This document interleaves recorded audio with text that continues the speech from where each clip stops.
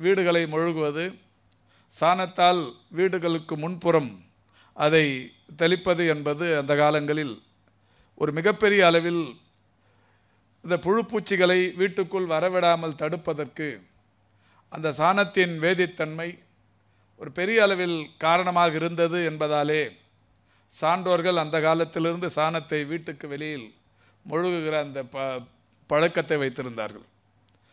அந்த சாணம் பிறகு அதை எடுத்து கையில் எடுத்து கரைத்து மொழுகுவது என்பது ஏதோ நாகரிக குறைவு என்று கருதப்பட்டதாலோ என்னவோ சாணி பவுடர் என்கின்ற பொருள் விற்பனைக்கு தொடங்கி அது இன்றைக்கு பெரிய அளவில் எல்லா இடங்களிலும் கிடைக்கிற அந்த சூழலில் அதை எடுத்து எளிதாக தெளிப்பது என்கின்ற வகையில் இன்றைக்கு பல முயற்சி எல்லா வீடுகளிலும் அது சாதாரணமாக ஆகிவிட்டது.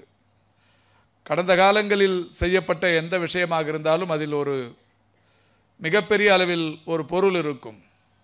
வீட்டுக்கு வெளியில் போடுகிற அந்த கோலங்களில் கூட அரிசி மாவினால் ஆகிற அந்த கோலங்களின் மூலம் கோலம் போடுவது என்பதே அழகுபடுத்துவது என்பதையும் கடந்து ஒரு எழும் எறும்பு போன்ற நுண்ணுயிர்கள் அந்த அரிசி கோலத்தில் இருக்கிற அரிசி துகள்களை சாப்பிடுவதற்காகவே அதன் அந்த கோலம் போடுவது என்பது அந்த காலங்களில் ஒரு நடைமுறை பழக்கமாக இருந்திருக்கிறது.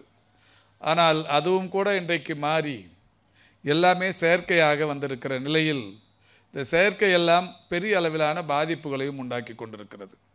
அந்த வகையிலே தான் இந்த சாணம் என்பதற்கு பதிலாக சாணி பவுடர் என்பதை வாங்கி வீட்டிலே வைத்திருப்பது என்பது எல்லா வீடுகளிலும் பழக்கமாகிவிட்ட சூழலில் இந்த சாணி பவுடர் இன்றைக்கு உயிரை போக்குகிற ஒரு மிகப்பெரிய விஷத்தன்மை வாய்ந்தது என்பதாலே இளம் பெண்கள் ஏதாவது ஒரு வகையில் மன அழுத்தத்திற்குள்ளாகுபவர்கள் தங்களுடைய உயிரை போக்கிக் கொள்ள வேண்டும் என்று கருதுபவர்கள் அதை உடனடியாக எடுத்து உண்ணுகிற ஒரு நிலை ஏற்படுகிறது.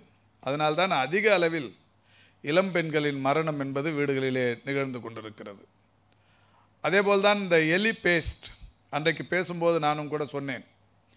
இந்த எலி எலிகளை கொல்வதற்குரிய அந்த பாசானம் என்பது அது தேவையா தேவையில்லை என்றால் விவசாய பெருமக்களுக்கு அது தேவை என்று கருதப்படுகிறது. ஆனாலும் கூட அது மனிதர்களின் உயிர்கொல்லியாக இருக்கும் பட்சத்தில் அதற்கு விழிப்புணர்வை ஏற்படுத்துவது அதை அதன் மூலம் இன்னமும் ஏதாவது ஒரு புதிய வகையிலான அறிவுறுத்தல்களை மக்களுக்கு செய்வது என்கின்ற வகையில்தான் அன்றைக்கு ஒரு முடிவெடுக்கப்பட்டது. பொதுவாகவே எந்த தற்கொலைக்கு முயற்சி செய்பவராக இருந்தாலும் நேராக மருத்துவ கடைக்கு தனியாக சென்று தான் எலிபேஸ்டை கேட்பார்.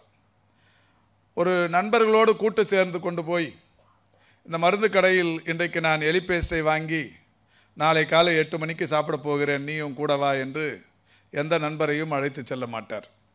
நண்பர்களும் நிச்சயம் அதற்கு இணங்க மாட்டார்கள். எனவேதான் தமிழக அரசின் சார்பில் அன்றைக்கு ஒரு அறிவிப்பினை வெளியிட்டோம்.